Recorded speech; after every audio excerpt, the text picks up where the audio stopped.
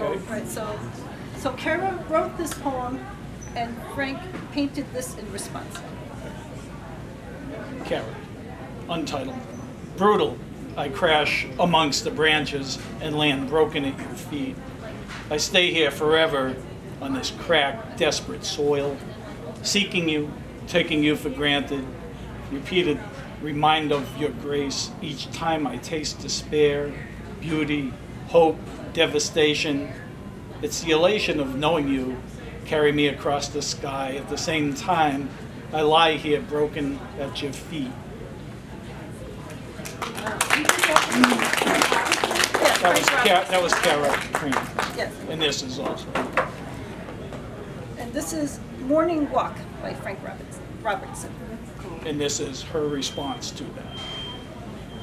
Untitled. Backwards, I glance at all that was and choose forward towards all that now could be.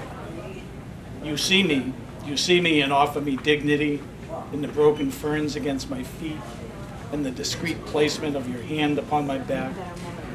Take me back to the time of sunshine flowers when the hours felt like days, when I was free in all my ways like a person can be.